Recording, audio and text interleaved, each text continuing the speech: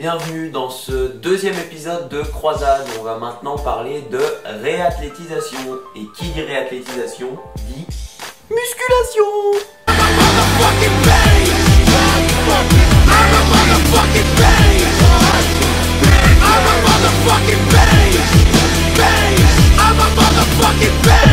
Hop hop hop hop hop, tranquille, on rétrograde. Je vous rappelle qu'on s'est quitté à 15 jours post-opération, à un moment où ta jambe, elle ressemble plus à ça.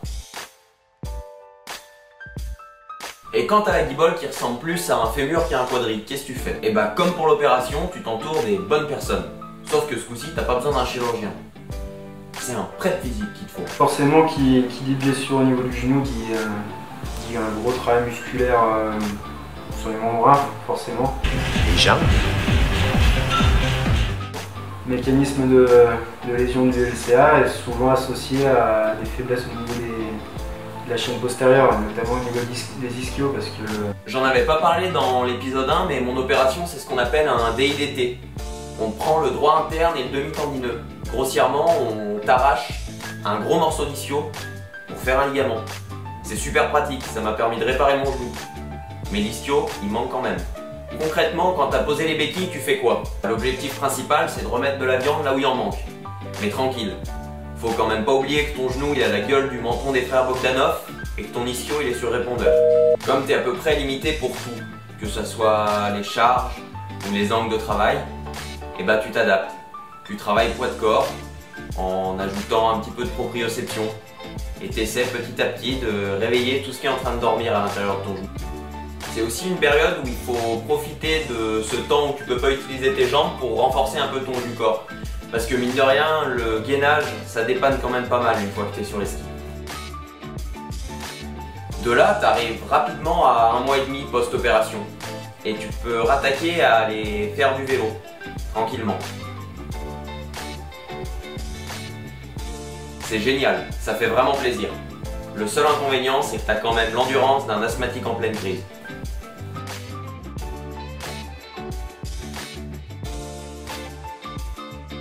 Oui, et j'oubliais. Pendant la réathlétisation, il faut simplement être conscient de quelque chose. C'est qu'en 15 jours, t'as tout perdu. Il n'y a plus rien dans ta jambe. Mais en 15 jours de boulot, il n'y a rien qui est revenu. Parce qu'il suffit pas de manger de la tome des Bauges, mon ami. Même si c'est vrai que c'est très bon quand même. Le moment le plus cool, ça a été pour moi à 3 mois post-opération. C'est là que si tout va bien, ton chirurgien te dit tu as le droit de courir. Et là, t'as qu'une envie, c'est d'aller gambader.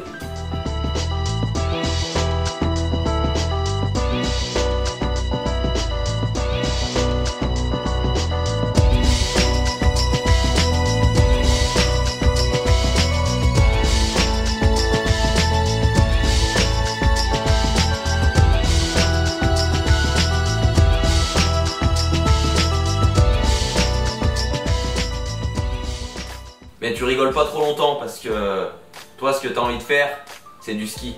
Et pour faire du ski, faut se préparer autrement. le ski alpin, mine c'est peut-être un des sports les plus, les plus complets.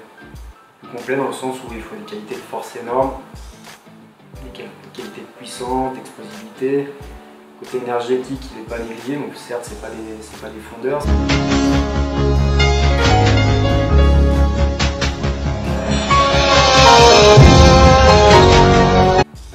Dans le ski alpin, je le vois, déjà sous deux, volets. Je mettrai d'un côté l'optimisation de la, performance, tout le travail qu'on va mettre en place en, en muscu, en athlé, en gym, etc.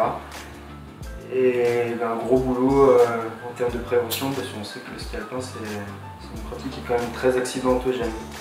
Donc optimisation de la perf, tout ce qui est développement musculaire, énergétique, postural, fonctionnel, et- etc. pour que l'athlète au final euh, en pleine possession de ses moyens sur, euh, sur les skis, qu'il puisse répondre à, toutes les exigences, euh, que ce soit le matériel, que ce soit la neige, que ce soit les différents, tracés.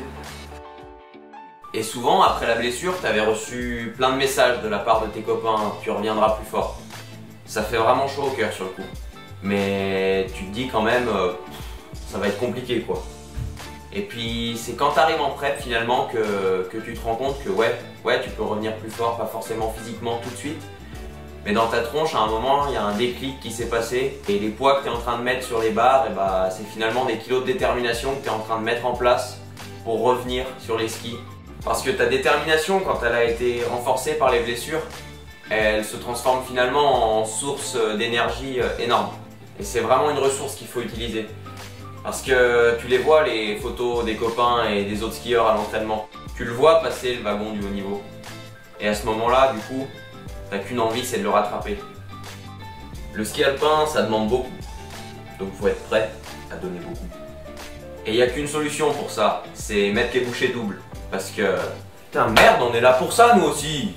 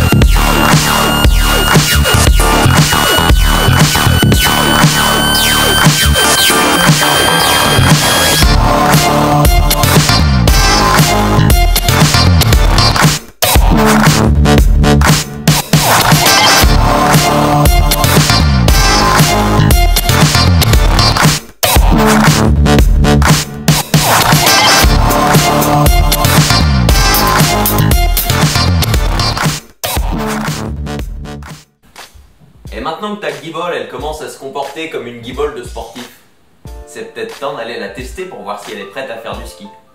Et ça, c'est le test ISO. On verra ça dans le prochain épisode. Au final, pendant la période de réathlétisation, tu passes quand même beaucoup de temps avec ton prêt physique. Alors certes, j'ai eu envie de l'insulter de tous les noms, et j'en connais un paquet. Mais c'est quand même grâce à lui que j'ai pu me retrouver sur les skis en pleine forme. Et pour ça, je lui suis infiniment reconnaissant. Merci Clément. C'est la fin de cet épisode 2 de Croisade. Merci encore une fois de l'avoir suivi, j'espère qu'il vous aura plu. On se voit sur la machine d'ISO dans l'épisode 3. Allez, à très vite